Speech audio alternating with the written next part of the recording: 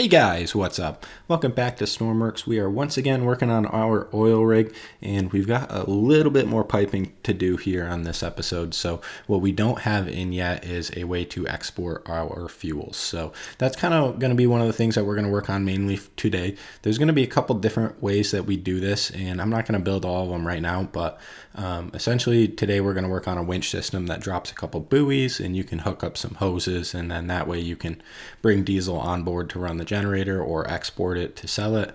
And you can do that with the, the jet fuel. Now, I'm also going to make a point over by the helipad that you can pick it up, as well as kind of like a, a, a dock setup so you can dock a ship next to the oil rig and then unload it that way but yeah, we got another pipe full episode. So we are basically just going to be doing a little bit of piping, a little bit of decoration, kind of same thing.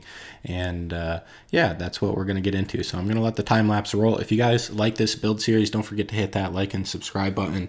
We are working away at this. I know this has been a long project, so we're chipping away at it, but you guys have been pretty supportive through it all, so I really appreciate that. But uh, yeah, we uh, we're just gonna let the build time lapse roll, and We'll get into it in a few minutes.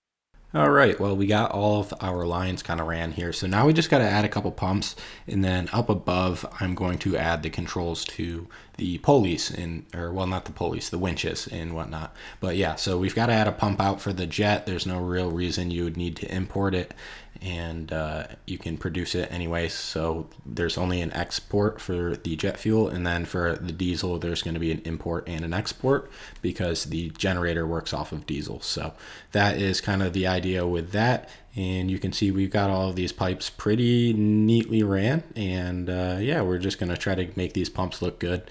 And uh, then we'll go onto the top side of that kind of mesh or the grating. And uh, we will kind of start hooking up all of the, the controls for it and whatnot. But nothing too fancy here. We are just trying to get all of this hooked up. The, um, the pipes were kind of the bigger issue here just because I was trying to tuck them in with the rest of them. So we got the pipes all sorted out. The rest of it's kind of just playing around with the pump positions and whatnot. And over on this diesel side, obviously, we we're going to have to have a T or some sort of junction like that. So I'm just trying to find the best way to kind of place this as far as how I like it looks. And uh, yeah, I think that'll work out for us and we will just have to palm into these hoses into the winches now and we can kind of attach them to a floating buoy and we'll just kind of hook it up. So we're going to go up here and I played with a couple different designs for the top side of this, but in the end I, uh, I decided to kind of just build this wall of controls so you could um, kind of go up there and control all of it manually up there. I didn't want to kind of add another room or separate station for this, especially because the same kind of plan is going to be over by the uh, the helipad. So there's going to be a couple outlets to fuels and whatnot, and you're going to be able to use them at will. I didn't want to have kind of some separate controls placed because you're probably going to have to get in and uh, attach a hose to something anyways when you're you know exporting the fuel. I'm not going to do it with any hose connectors or anything like that. But enough of that. I'm kind of just rambling about. So I'm playing around with those kind of control panels up top, but I I didn't necessarily like how that looked. So we're going to actually switch it over to a wall on the side and it will look a lot better in my mind. And it'll kind of give us also a lot more space for controls and whatnot.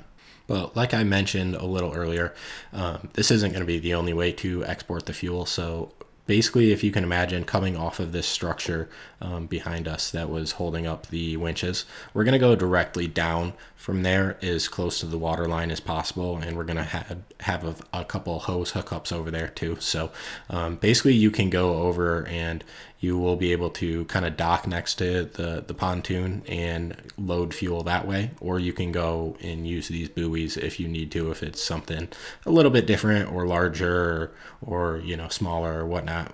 Um, it just kind of gives you another option to do that. But I'm trying to make this look good in the uh, the wall here, and I just I wasn't super happy with it just because um, you know you kind of are looking that way anyway. So I don't think I want to block that side, and if we move it over to this wall, we're gonna have a lot more room.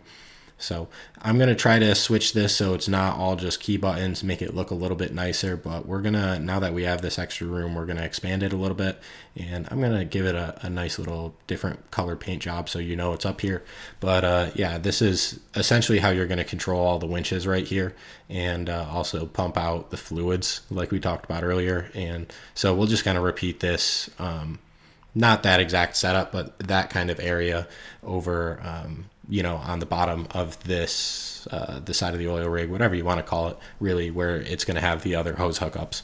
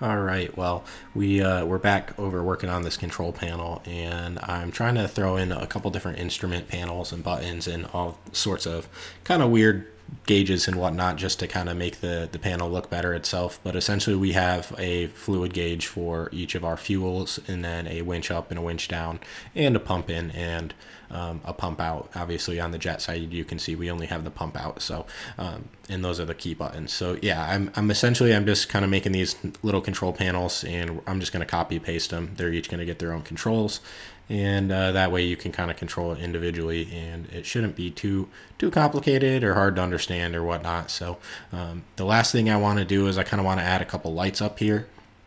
And uh, I'm just hooking everything up real quick. I did the microcontroller off camera but um, the last thing that I wanted to do up here was add a couple of lights, and then that way, um, you know, at nighttime you can kind of see your way around up here a lot better because it gets very dark. So um, definitely, we're going to do that. Add a little bit more kind of paint and you know light and that kind of stuff to make it look better. But this is kind of the basic idea of what we're going for.